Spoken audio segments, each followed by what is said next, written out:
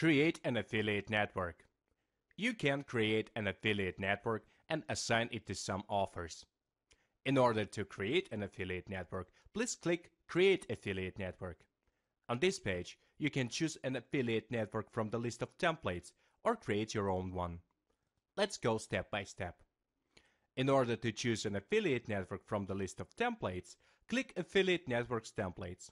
It opens a pop-up with the list of templates.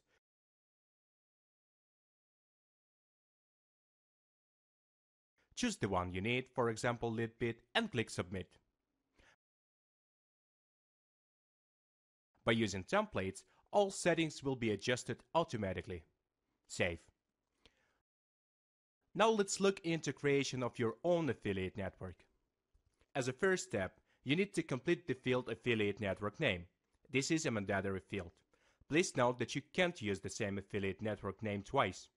You can search your affiliate network in the system by its name and view its statistics. The next setting is tracking token. Please tick Use the same tracking token in all offers checkbox and enter the name of your affiliate network parameter that can pass the dynamic values. Unique click ID generated by AdsBridge will be passed to your affiliate network in this parameter. If your affiliate network uses Cake platform, set up S2, S3, S4, S5. If it uses HasOffers, set up f underscore sub, f underscore sub 2, 3, 4, or 5. This setting is not mandatory. Postback statuses. If you need to pass conversion statuses for offer, then tick Use Postback Statuses checkbox. You will see an additional field Approved Status Value.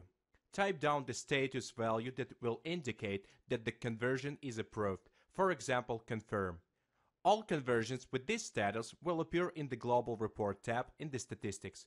Conversions with a different status will be displayed only in the Conversion Report section. S2S Postback.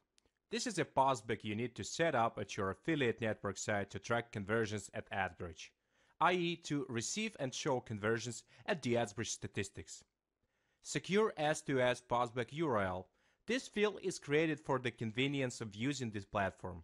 Secure S2S Postback was created specifically for use on affiliate networks that accept only such postback. The next field, Postback Whitelisting. In case you need to accept postbacks from a certain IPs, please tick Accept postback from whitelisted IPs checkbox and in the field that will appear below, enter IPs 1 per line.